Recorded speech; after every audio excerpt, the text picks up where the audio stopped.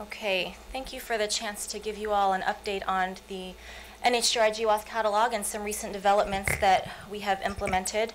Um, we thought we would originally communicate some of these developments to you in a, in a slide in Eric direct, Eric's director's report, but then we thought council might be interested in a more detailed report. And before I start my presentation, I would really like to thank Helen Parkinson's group at the European Bioinformatics Institute, or the EBI, who have really done the lion's share of this work, and I think we may have uh, one or two team members joining us on videocast.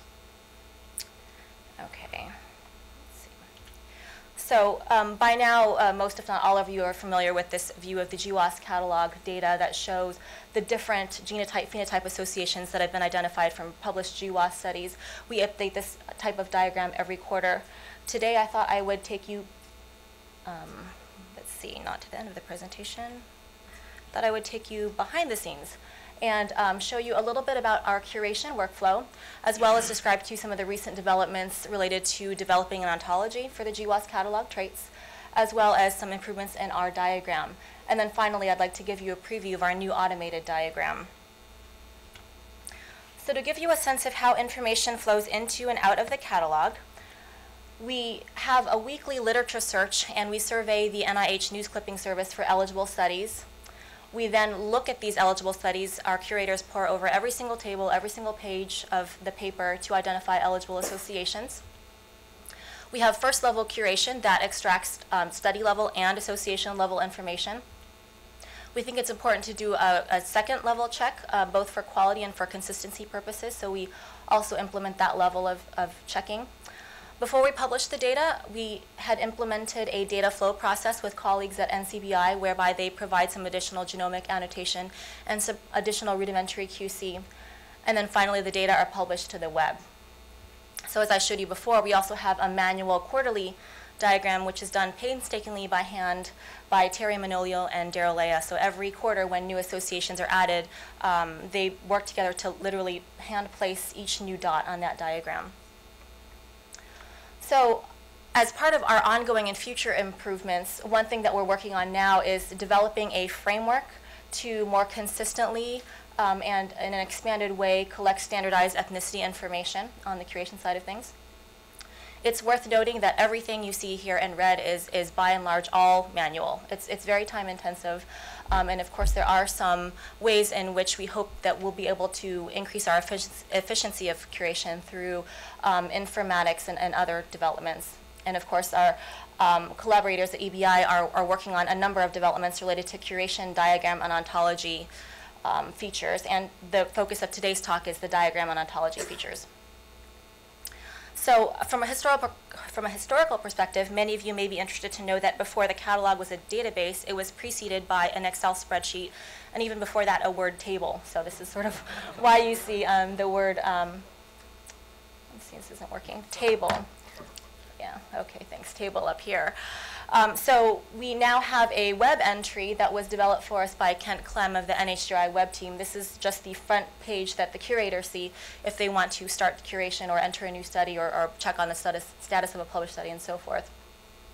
This is just um, a, a, brief uh, subset of the data we collect. Everything you see here in blanks is essentially a piece of information that the curator uh, manually enters. Um, maybe cut and paste might save a little time, but it's, it's by and large mostly manually entered. We did, um, with the help of um, our collaborators from EBI, add this new functionality where if the data are in a spreadsheet, they can be uploaded directly into the database, which has um, been helpful in terms of reducing um, errors as well as adding more SNPs per paper in a more um, time-efficient way. We do monitor the most popular searches that are um, performed by our users. So here you see on the left the most popular terms that were searched for um, in the calendar year to date. And for those of you who are visual, this is a Wordle of the same information where the uh, size of the term is proportional to the number of searches. And you can see here that um, the most common searches are those related to various cancers and, and diabetes, and to a lesser extent, some, of, um, some other um, common diseases. So this is, uh, for those of you that use the catalog, this is a snapshot of our search interface. A user can search in this uh, blank box um, for a particular string that matches a, a, trait in the catalog, or you can browse this uh, relatively long list of traits and highlight the ones you're interested in, and then um, that will bring up the relevant results in the catalog. So Helen Parkinson, who was an expert in developing and adapting ontologies at the EBI, noticed that, um, of course, this is a relatively unstructured trait list. For example, you can see that a trait such as diabetes is, um, if you look on that long list of traits, is classified both under diabetes as well as the specific type of diabetes, perhaps with um, other traits in combination, um, if that's what the paper reported on. And she saw an opportunity to integrate these traits into an existing ontology and facilitate um, categorization of these traits to enable uh, more systematic and more powerful searches. So the ontology that we're using here is called the experimental factor ontology. It's, it's EFO for short. And it reuses multiple resources to produce a controlled vocabulary of experimental variables, such as those related to an anatomical feature or a particular disease. So the ontology also allows relationships to be specified among the various terms, which generates a hierarchy that can then be used to expand a, a query, such as searching on all immune system disorders. Um, it, it, will also allow for combinatorial searches, uh, such as uh, um, that one you see here. Being able to more broadly categorize traits means that we can go from um, about 200 manually defined traits, which is what you'll find on our current GWAS diagram, to on the order of 20 ontology defined traits, um, which of course makes it easier um, to kind of peruse the diagram visually as well as classify these uh, traits. The new ontology can also be used to improve the generation of the GWAS catalog diagram, um, as, as I alluded to. And to date, the following features are available on a new diagram display, which I will preview for you in a moment. Um, first of all, the diagram is now completely automated. Um, every new um, study or result that is added can now be uh, using an algorithm placed on the GWAS diagram. The displays I'll show you in a moment is interactive. You can um, zoom in and out and uh, highlight certain traits of interest.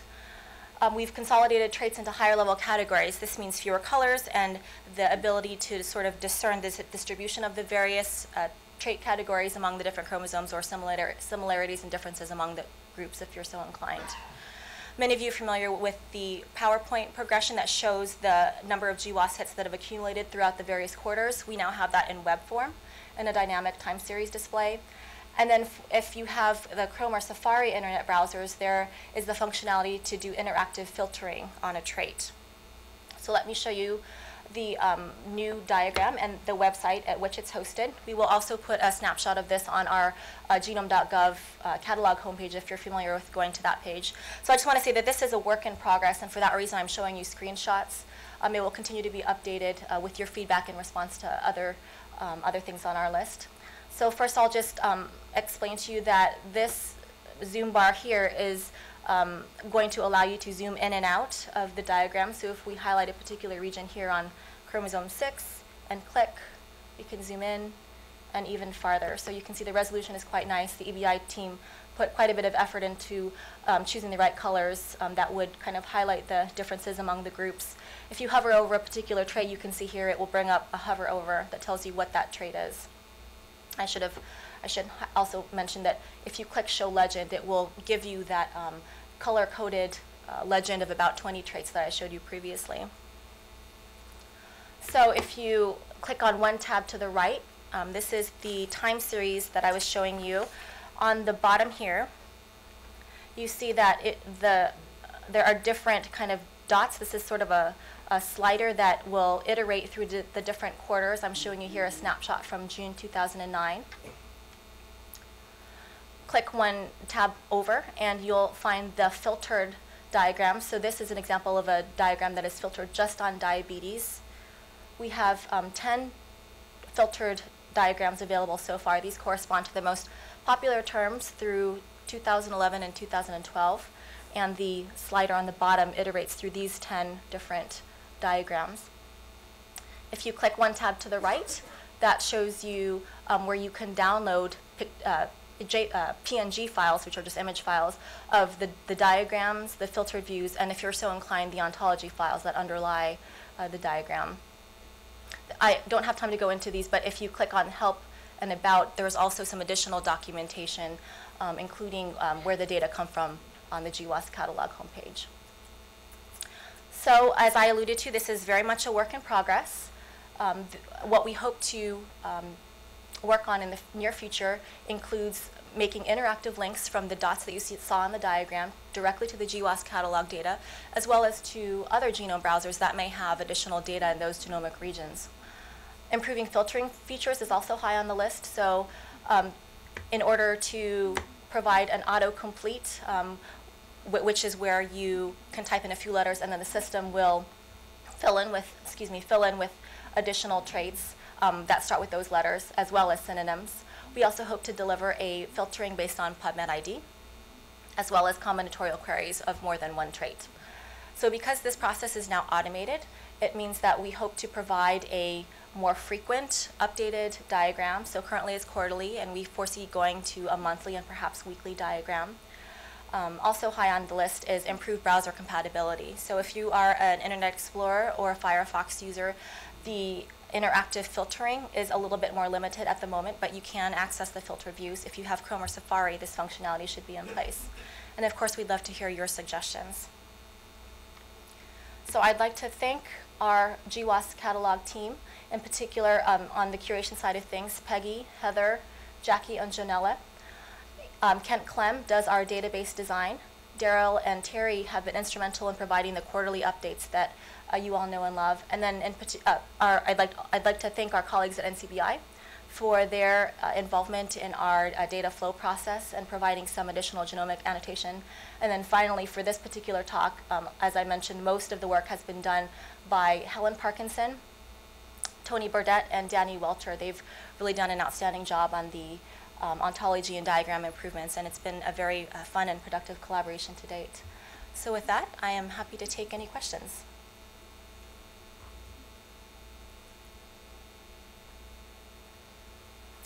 Uh, Um, yes, I'm just a little, a a little, I think this is really good, it's valuable. It, it, is it a huge job? It seems, I mean, I know making the, the visuals is, is a lot of work, but it's just something that once it's done, it's an engine and then you just add to it and and everybody can use it? Is That's, that, that, that's the idea behind automating it, yes, is that there's sort of an algorithm. And we, we wanted to make it look as familiar as, as it could because I think people tend to recognize and, and use the quarterly diagrams that we have. So we wanted to make it as close to Daryl's diagram as we could. I mean, there's really no substitute for sort of his, you know, judgment and discernment and, and, and kind of um, visual acuity, but we're trying to get as close as we can. and, and then when you say it's funded by that grant, who's that grant to? I'm- I I misunderstood who did that. I mean, I know all you, all of you. Yeah. So, so um, just to backtrack, the, the grant is, is to EBI. Okay, So okay. they're, they're um, supplemented to do some of this work. So is that a, that's a U award, and so is that um, continuing? It's, I can't see, that's in the, Um, it's, it's, it's currently funded as a supplement oh, to okay. that group. Okay. Yes, uh, I think Jill and then Rex. So, yeah, I, th- I think this is really nice, and uh, the, the visualization is great. I just, I, I noticed as long as they've got this interaction, it, it would be kind of nice to actually get the exact locus of these variants. okay. You, when you roll over, you get the, you know, the, the, what the SNP is associated to, but you don't get its It's, location. do you mean like one P thirteen point two? Yeah, yeah, something. It's precise, yeah, because they have it, why What- not? Why not, you know, I roll over, why not see it? The, so one, one of the things we'd like to do is. Or at is least have it obviously- as an option. Yeah, w- uh, so as I alluded to, one, one of the things we're hoping to do is to have that um, hover over take you directly to the GWAS catalog record, which does show that Even information. better. But we, we can include that in the hover over as Yeah, well. I mean, if it looks like, because you're only seeing one label at once, and so adding it is not, Right. A- And it's you not gonna be visually. Yeah. bleh. And, and we want to just kind of reinforce that this diagram has data underlying it, and we want to point, take people to the actual Yeah, data. so no, that- I think that's a great the idea, yeah. So yes, Uh, Rex? So now that you've got driven by an ontology, do you have the option of actually driving it by alternative ontologies? So for example, could you go in and use GO function or Mm-hmm. GO process to drive that? I think that would be extremely powerful. That, that's a great question, and actually EFO uses GO, um, so I know that ontology can be incorporated easily. Um, because I think we have a, a lot of emphasis on diseases, I think MeSH is another one people mention frequently, so we could explore that as well. But I think GO is already sort of i- i- incorporated here. Yeah, but it would be really great if you could actually use a GO term you know. Enter in a GO term. Enter in a GO term. Yes, so, so um, one thing that will be made available is, I know that when, when they have a chance to incorporate this, they will include all of the synonyms, which I believe includes all of the GO terms. Does that, so if, if, for example, the GWAS catalog trait is called coronary heart disease and the GO term is something else, that may not be the best example, it, it will also bring up those synonyms. Yeah, yeah, I guess, uh, I don't know Is it- EFO well enough to know how granular it is. I mean, you, you might end up with a lot of duplication there if it's not granular enough, but it, it- All- it's all going the right direction. Okay, okay, we, we take your point. So we should definitely pay attention to GO specifically in terms of a way to be able to search on, on terms. I mean, we have like the ontology portal. It would be really cool if you could actually pull up any ontology and apply to this. Mm, That would be extremely powerful. Okay, thanks for that. Um, Mike? I'll just second it. This is a really useful tool, and I'm really glad to see it going this way. The automation is great. Is, is anything happening on automation in terms of the original data gathering, or is that still very much a manual process? We are, we are exploring ways to make that better. Um, I, I think we, we probably will, um, be working on that in the, in the near future. Um, it's definitely one of those areas where, you know, it, it's obvious that there's a need, um, but we ourselves don't have that expertise in-house. If it, if it does stay a manual process and it becomes overwhelming, I'm not sure that it is, but if, if it did become, 10 to the minus fifth is not a very high bar, or very low bar, depending on how you're looking at it. Exactly, yeah. um, you know, if, if it came to, gosh, we really don't feel like we can do justice to this, if you went to 10 to the minus 6, that would not be a terrible sin, you know. Yeah, I, I, I think that's a good point. And in fact, um, you know, I, I think there's always going to have to be some aspect of manual curation. I think the, the data mining can perhaps present eligible associations for us, but I think on just having, having done this for a while, I think we, we do, at least for, for the foreseeable future, want to make sure that, you know, the associations meet our criteria and so forth, which you can't always au- automate. You, you do need a human to make sure that, you know, the, make, make sure that the association is in line with your criteria. It's a judgment call. Yeah, and if that is the case, which, which I think is mm-hmm. perhaps absolutely right, um, I think it's more important to make sure you get all the significant results, genome-wide significant results from a paper, rather than trying to get everything at 10 to the minus fifth. Yeah, Because yeah, honestly, yeah. in this context, 10 to the minus fifth typically is not that interesting. Mm-hmm. And 10 to the minus sixth, fifth versus sixth versus seventh, those are in principle orders of magnitude. Uh, and they're, no- they won't be quite, because some papers won't even talk about things at 10 to the minus fifth, but, but it could be a significant time savings. Good point, thanks. Yes, David? You mentioned the most common um, search terms. Mm-hmm. Um, Do you also have some sense of who the biggest users of the GWAS catalog are? You know what, I probably could have pulled that up. We do have the user logs that show the IP addresses, so I, I, we could probably look into that. I, I I- don't know off the top of my head.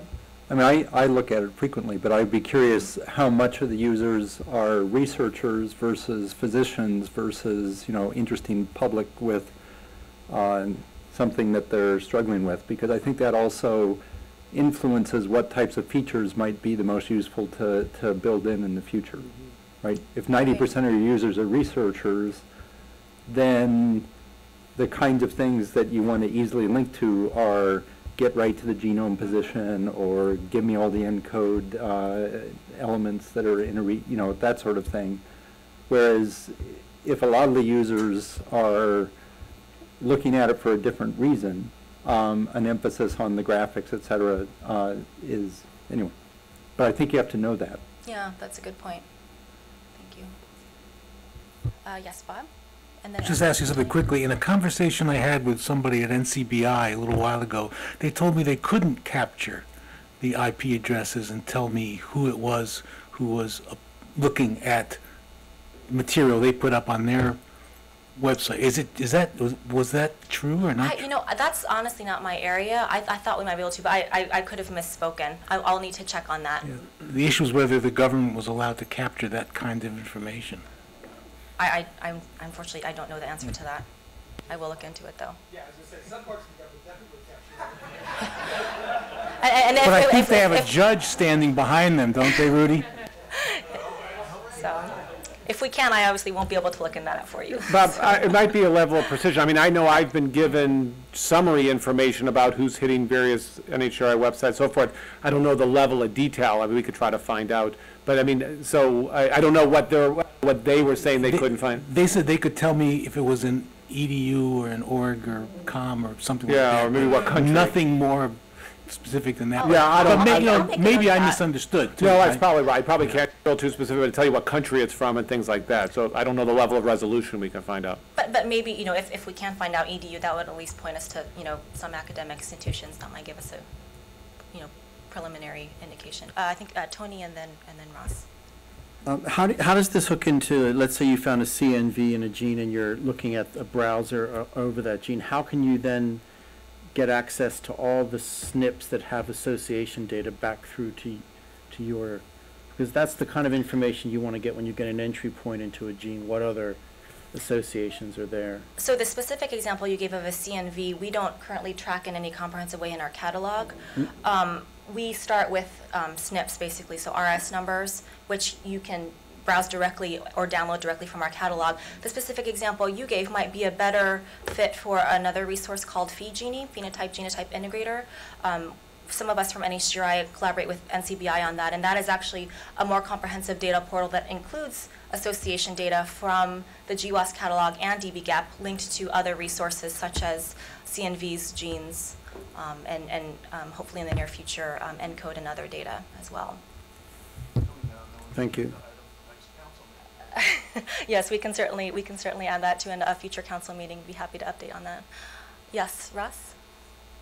Yeah, the- th- this is really great, and when you uh, uh, showed us these, uh, the interactive diagrams, like uh, you handed a, a a toy to a kid on Christmas, and all of us are sitting around here playing with it, and the, um, uh, I wanted to, uh, what I was hearing from people, all kinds of suggestions, and I'd like to maybe generalize it. It- See, now that you've got this interactive display, uh, you, you- effectively have a really good uh, uh, genome browser for this kind of, of research. And if there was some way to set up a, uh, a query page, so, you know, to query on any field in, in, in your GWAS catalog, and then display them, so we would have control over what p-value we want, uh, what, what terms we want. And, and I think, well, you, you may, it, it may not be that many more steps. I mean, I think getting this interactive display was really a major one, and, and now is, this display is useful again. So great work, and keep it up.